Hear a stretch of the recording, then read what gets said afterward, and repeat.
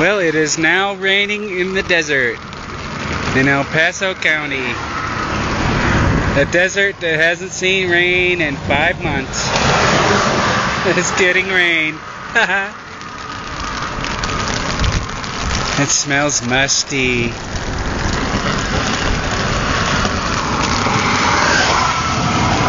I wish these people would slow down.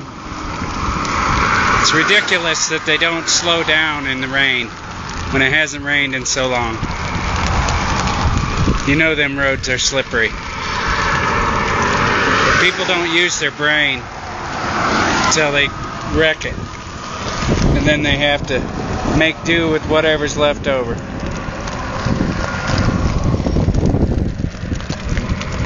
Yep, it is pouring in the desert.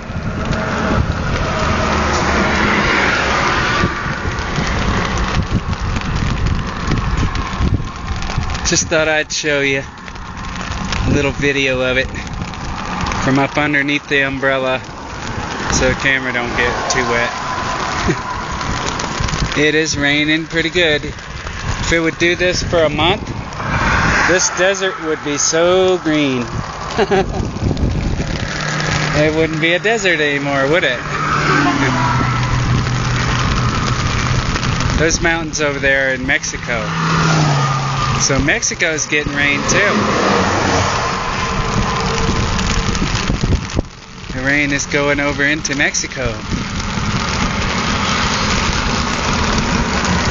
I think I'm at I think I'm at like mile 56 or something like that. Got another 50 something miles of Texas to go through. Oh, those speeders. They really bother me. You know, the speed limit's 75 here. It's not 80 anymore. They don't even pay any attention. They don't even look at the sign. A lot of them are doing 100. It's really sad. Wish the sheriff would get out here and write some tickets. Make this department some money. Look at that rain come down. I mean, it is pouring, buddy. Wind is blowing too. Well, I'm going to put the camera away before it gets soaked. This is Tommy on the PanAmerica BlogRide in the Chihuahua Desert of Texas. Right across the Rio Grande from Mexico. and it is raining good. Have a good one. Thanks for joining me.